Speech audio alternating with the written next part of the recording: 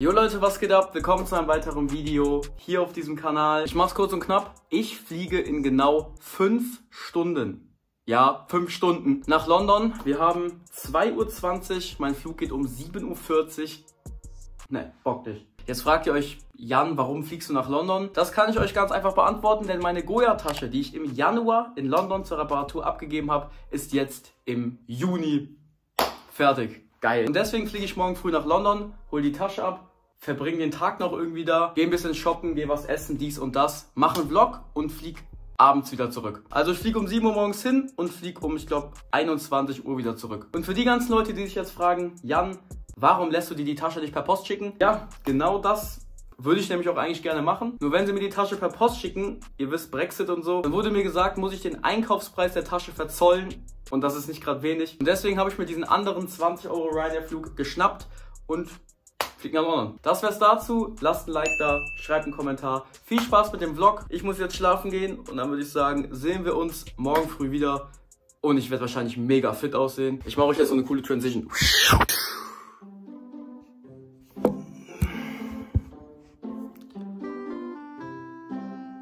Guten Morgen. Bei mir geht gar nichts. Ich, ich, muss, ich muss duschen gehen, ich muss mich anziehen, ich muss mich beeilen. Ich, ich muss mich beeilen. 20 Minuten später. Kleiner Fit-Check am Morgen. Das ist das Outfit. Weekday Bag, Weekday Shorts. T-Shirt muss ich glaube ich nichts zu sagen. Zwei Red Bull, Air Force und wir legen los. Es ist by the way unnormal warm jetzt schon. Äh. Es ist immer dasselbe, Mann.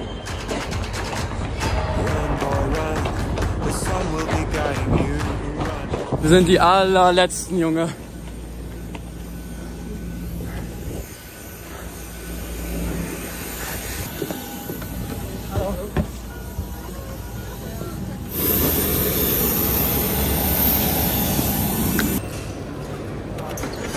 Ah, feels good to be back. Wir sind da. Piccadilly Circus. London, schönes Wetter. Wir sind sicher angekommen in London. Ich habe mich jetzt die ganze Zeit nicht gemeldet oder so, weil wir halt einfach komplett im Arsch sind, mega müde sind und irgendwie erstmal ein bisschen klarkommen mussten. Könnt es auf jeden Fall sehen, wir haben sehr, sehr schönes Wetter. Die Sonne scheint, wir sind wach, wir sind fit nachdem wir im Zug geschlafen haben. Der allererste Store wird auf jeden Fall Goyard, weil ich denke, umso früher wir hingehen, umso leerer wird der Store und ich habe echt keinen Bock, mich jetzt irgendwie in die Schlange zu stellen. Dann holen wir meine Bag ab. Also ich hoffe es auf jeden Fall, dass sie fertig ist. Aber mir wurde gesagt, die ist abholbereit, deswegen gehe ich mal davon aus. Ich noch ein paar London Impressions. So sieht es hier gerade aus. Ich bin übrigens mit Senat, habe ich glaube ich noch gar nicht gesagt. Gib mir mal einen Spin. Gib mir einen Spin. Guckt euch das Shirt an, Junge. Represent in London. Das hier ist by the way die Regent Street. Ihr könnt sehen, wir haben ja auch viele Stores, wie Weekday zum Beispiel. Und wenn man hier lang hochgeht, kommt man oben zur Oxford Street. Die geht man dann komplett runter. Da sind auch mehrere Stores, da ist Savorites und so weiter. Und eben auch Goyard. Und da werden wir erstmal die ersten paar Minütchen dieses Tages verbringen. Angekommen am ersten Spot. Goyard, Schlange sehr gering, gefällt mir. Und jetzt gucken wir, dass wir schnell da reinkommen. Und dann bin ich mal gespannt.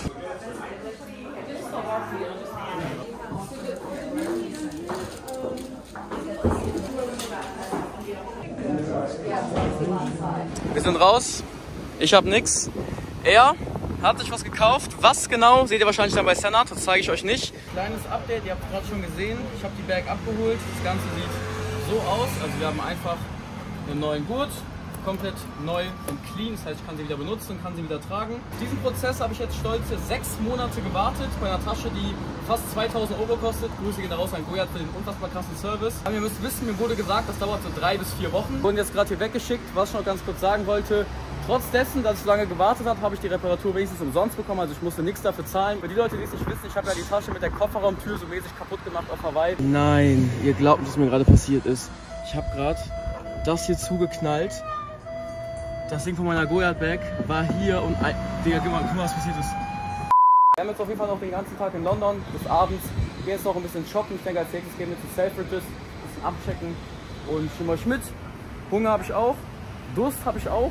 Pappmaul wie nichts anderes. Bevor wir aber irgendwas machen, brauche ich erstmal eine Erfrischung und ich glaube, ich greife zur Fanta Fruit Twist. Kenne ich gar nicht. Ihr wisst, stay hydrated, noch ein Wasser und weiter geht's. Selfridges. Genau da habe ich im Januar, als ich hier war, mein Entire Studios Hoodie gekauft. Den danach nie angehabt und dann irgendwann verkauft. Bester Kauf meines Lebens.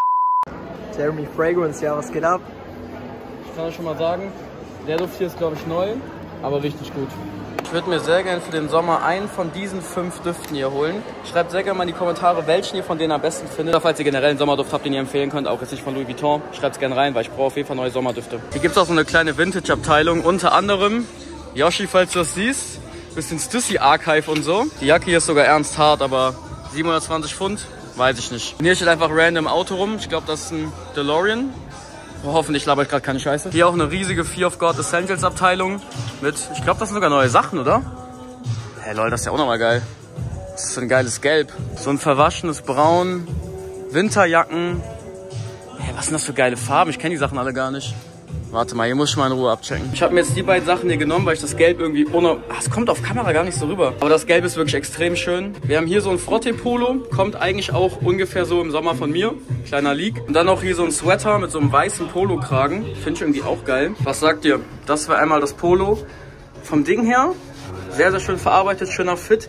Mich stört nur ein bisschen dieser unnormal enge Bund hier, weil wenn ich mich einmal so bewege, dann sehe ich halt so aus. Also dieser enge Bund weiß ich irgendwie nicht, hätte ich mit einem lockeren Bund ein bisschen geiler gefunden. Ich muss sagen, fit, perfekt, schön locker, perfekte Ärmel, auch der weiße Kragen gefällt mir sehr gut. Das Einzige, was mich ein bisschen stört, ist dieser Essentials Print vorne, der hätte jetzt nicht sein müssen. Aber aufgrund dessen, dass der Ton in Ton ist, geht es eigentlich sogar klar. Weiß nicht, ja, ich finde irgendwie echt geil, aber sind halt auch wieder so 150 Euro. Ja. Boah, ich weiß noch, die hier hätte ich mir fast in der Dubai Mall damals gekauft. Digga, zum Glück habe ich nicht gemacht. Obwohl die immer noch sehr, sehr fresh sind. Mit so einer breiten Hose, die da drauf stackt, sind die schon sehr cool für den Winter. Nur jetzt für den Sommer komplett unnötig. Wir haben uns erstmal entschieden, rauszugehen, weil wir haben beide gottlosen Hunger. Das geht wirklich gar nicht klar. Weiß, geht sich später nochmal rein. Ich habe den Sweater erstmal zur Seite gelegt. Ich will erstmal ein bisschen schauen, was ich sonst noch hier so finde. Und nicht jetzt irgendwie auf Krampf direkt das Erstbeste kaufen. Wir haben jetzt hier gerade ein bisschen auf TikTok geschaut, was man in der Nähe essen kann. Haben das hier gefunden. Market Hall heißt das Ganze. Da gibt es so mehrere Foodspots eben. Das steppen wir jetzt hin, ist ca. 450 Meter entfernt. Wir müssen da lang. Da sind wir angekommen. Ist, glaube ich, so eine riesige Halle, wo es ganz, ganz viele einzelne Stände gibt mit Essen. Ah, okay, da hinten ist schon mal Sushi. Sexy Buns. Hier gibt es Tacos, 20 Fit Fried Chicken. Boah, das hört sich auch geil an, Fried Chicken hier. Was gibt's hier denn? Chicken Burger, Sides, Wings, Nuggets. Wir haben uns jetzt hingesetzt. Ich habe mir einen Chicken Burger bestellt und Buffalo Wings. Also wird hoffentlich geil. Oh. Essen ist da. Wir haben hier den Burger. Sah auf TikTok ein bisschen größer aus als in echt, aber sieht trotzdem extrem gut aus. Wie die Buffalo Wings, auch extrem, extrem sexy. Und das, das ziehe ich mir jetzt rein. Hab ich, ihr glaubt gar nicht, wie Bock ich darauf habe. Wow. Okay, ich probiere einfach mal. Soll ich da reinbeißen? Geisteskrank, dieses Chicken. Wow. Noch ein bisschen für euch.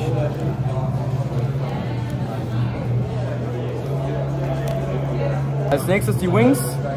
Ich weiß nicht ganz genau, ob da für Soßen drauf sind, aber so sehen sie aus. Ich probiere mal. Geil, komm. Geisteskrank. Also ich cape jetzt auch for real nicht. Wirklich einer der leckersten Burger, die ich je gegessen habe. Ne? Also geisteskrank lecker.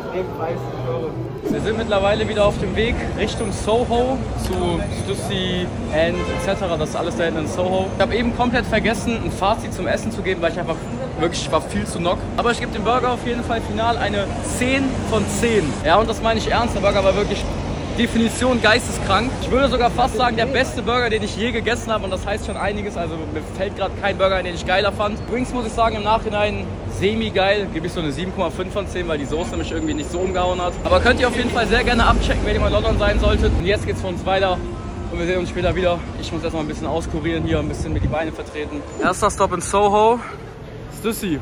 Mein Lieblingsladen. Haben wir ein paar London Exclusives in Rot, Beige und Grün. T-Shirts, Hosen. Ganz viele kurze Hosen. Hemden. Das Jersey hier, frag nicht warum, wollte ich mir bestellen, aber die haben das irgendwie nicht nach Deutschland geliefert. Ich konnte das irgendwie nicht bestellen, jetzt haben die das hier im Laden. Ich glaube, das probiere ich mal an, so für den Sommer. Könnte eigentlich ganz cool sein. Werden wahrscheinlich auch ganz viele nicht feiern, aber ich fand es irgendwie irgendwie cool. Ich glaube, ich probiere das mal an. Ich hoffe, die haben das Size M am Start, weil L wird mir auf jeden Fall zu groß sein. Ich habe gerade nachgefragt. Es gibt es nur noch in L und nicht mehr in Medium. Dementsprechend war es auch damit. Hier gibt es auch wieder so ganz, ganz viele einzelne Essensläden, so einzelne Spots. Sehr nice, nur wir haben halt gerade gegessen. Naja, ist auch egal. Wir steppen jetzt zu Supreme. Mal gucken, was da abgeht. Das Trikot hier, sehr, sehr hart. Ich glaube, das probiere ich sogar vielleicht mal an. Hose auch. Kann schon cool kommen für den Sommer. Angekommen in der Umkleide, übrigens die extrem geil aus.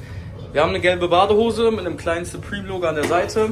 Wir haben die Shorts zum Trikot, habe ich irgendwie nur aus Jog eigentlich genommen. Und eben einmal das Trikot. Da bin ich echt gespannt, wie das angezogen aussieht. Size M habe ich genommen. So sieht's aus, angezogen. Einmal von vorne und auch einmal, kann man es erkennen, von hinten. Ich muss sagen, von hinten gefällt es mir nicht ganz gut. Von vorne eher besser. Aber ich weiß nicht, haut mich das jetzt so um. Kostet, glaube ich, so ungefähr 80 Pfund. Das wäre der Fit mit der Hose. Von vorne unnormal krass. Und irgendwie von hinten, weiß ich nicht. Von hinten finde ich es irgendwie gar nicht so nice. Aber so würde ich mich eigentlich im Sommer sehen. Naja, Backprint versaut ein bisschen, dementsprechend L. Ihr könnt sehen, bei Supreme auch wieder mega viel gekauft. Da hinten ist Aimé Leon Dor. Kannst schön Kaffee trinken. Ey, wir laufen hier random lang. LFDY Opening Soon. Schon krank, ja? Einfach direkt neben einem Leon Dor und OVO. LFDY. Das sind schon krasse Moves. Das sind sehr, sehr krasse Moves. 5. August öffnet der. Krass. Das ist echt heftig. OVO war ich auch noch nie drin. Das hier wäre der Store. Sehr, sehr clean. Boah, Digga, der Store sieht unnormal nice aus. Oh, die College-Jacke ist auch gestört. Hier auch so Trinkflaschen, Socken, Aschenbecher, Taschenmesser, also auch ganz viele Accessoires. Wie sick sind bitte diese Nocta Nike-Schuhe?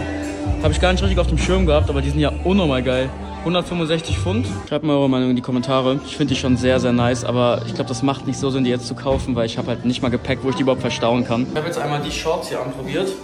Das Ding ist nur, also ich finde die sehr, sehr krass, aber die ist irgendwie ein bisschen kurz. Ne, checkt ihr, die ist ein bisschen kurz, aber an sich sehr, sehr coole Basketball-Shorts. Ich glaube, ich probiere die mal in der Größe größer an und dann, Digga, wie krass ist eigentlich diese Umkleide? L. Die Hose gibt es nämlich nicht eine Nummer größer, dementsprechend wird auch das kein Kopf, die ist nämlich leider zu kurz. Schade. Boah, ich finde die echt sehr, sehr krass, auch diese Farbkombo. Hätte ich gerne mitgenommen, aber das wird nichts. Angekommen bei End, da geht es jetzt auch noch rein. Vielleicht finde ich ja hier was. Bis jetzt habe ich irgendwie nur Pech. Ja, Jungs, keine Ahnung, was ich sagen soll. Es ist immer dasselbe hier, keine neuen Sachen, immer dieselben Marken. Auch wieder nichts gefunden. Und ich hatte jetzt auch keinen Bock, euch hier wieder irgendwie jede Marke zu zeigen und so. Deswegen steppen wir jetzt wieder raus. Dieser andere 7 Euro Orangensaft in einer Glasflasche. Aber da habe ich jetzt Bock drauf, sage ich euch ehrlich. Wir haben jetzt 14 Uhr. Wir wollten so gegen 17 Uhr wieder zurück zum Flughafen. Das heißt, wir haben jetzt noch knapp drei Stunden. Und wir, also, wir sind eigentlich fertig. Ich weiß auch nicht mehr genau, was wir jetzt noch machen sollen. Wir haben gegessen. Ich kann die ganzen Läden langsam auch nicht mehr sehen. Es ist unfassbar heiß. Ich muss unnormal aufs Klo. Wir chillen jetzt hier ein bisschen, genießen die Sonne und dann mal gucken, was noch geht. Wir sind hier gerade in so einem random Sneakerladen. Ich habe den hier gefunden. Der ist gebraucht. Kostet 180 Pfund, ist aber eine 42,5. Ich wusste gar nicht, dass es den Protection Pack in der Farbe gibt. Ich finde die Farbe aber eigentlich sehr geil für den Sommer. Der ist mir leider zu klein. Der wäre schon sehr, sehr geil gekommen. Laden heißt übrigens London Sneaker Club, falls es interessiert. Und wir setzen jetzt, ich weiß es nicht, keine Ahnung. Ich sage euch ehrlich, langsam geht das hier an die Grenzen. Wir haben jetzt irgendwie 15 Uhr oder so. Ich bin müde, bis zum geht nicht mehr. Ihr glaubt nicht, was das für ein anstrengender Tag ist. Ne? Ich bin seit 5 Uhr wach, habe drei Stunden gepennt oder so und laufe hier bei 55 Grad in der Hitze rum, ey. Das ist einfach die Tür von diesem Laden. Wir sind gerade bei Balenciaga. Wie krass sieht dieser Store bitte wieder aus? Wow, wow, wow. Guckt euch mal, wie dieser Store aufgebaut ist. Wie krass das aussieht. Ich schwöre auf alles, das ist der krasseste Store von der Innenarchitektur, den ich je gesehen habe. Wie geisteskrank sieht dieser Laden bitte aus. Kleines Update. Wir befinden uns wieder auf der, frag mich nicht warum, Oxford Street. Laufen jetzt hier wieder ein bisschen rum. Gehen vielleicht nochmal zu Selfridges, weil ich noch ein bisschen schwanke wegen diesem Essentials Polo Sweater. Sam will noch was zu trinken holen. Wir wollten noch kurz zu Superdry, weil da habe ich nämlich einen kleinen Geheimtipp. Und ansonsten haben wir noch so knapp eine Stunde 30 oder so, bis wir wieder uns auf den Weg machen müssen zum Flughafen, beziehungsweise erstmal zum Bahnhof. Ihr könnt nicht glauben, wie fertig wir sind, wie wir schwitzen, wie warm es ist, wie anstrengend das hier alles einfach ist. Ja, Digga, ich beschwere mich hier, als hätte ich irgendwie jetzt hier über den anstrengenden Arbeitstag oder so. Ein Geheimtipp. Superdry, Oxford Street. Ihr könnt sehen, Vintage Nike Store upstairs. Da gehen wir jetzt nämlich hin. Hier haben wir es. Vintage Streetwear. Nike, ganz viel. Guckt, wenn ihr hier runtergehen könnt. Alles Vintage.